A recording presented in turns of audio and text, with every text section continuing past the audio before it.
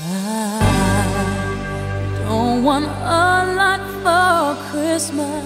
There is just one thing I need. I don't care about the present. It's a new day. It's your time to shine.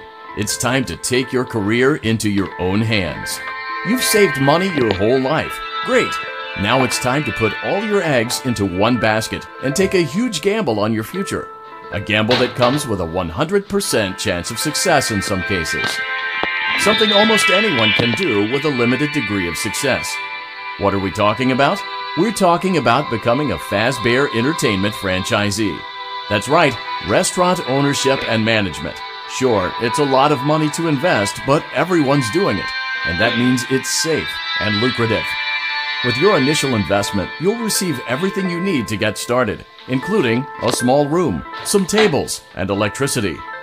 But don't forget about the money you had left over after buying your franchise package. Use it to decorate, buy a stage, buy attractions and animatronics, and much, much more. Now, let's take a look at a few things that will help you get started as a Fazbear Entertainment franchisee, such as atmosphere. Making sure your establishment has an inviting atmosphere is essential to bringing in new customers. Entertainment. Having a lot of entertainment value in your restaurant will ensure that customers come back. Bonus revenue. Coin operated games and attractions can generate additional revenue during the day, which means more money in your pocket, ready for reinvestment. Health and safety. There may be times when you purchase something of questionable quality, and we don't blame you. Cutting corners is just good business. But there are steps you can take to ensure you don't get sued for it, and that brings us to liability. Being a thrifty shopper is smart, but be aware that buying things on sale comes with a certain amount of risk.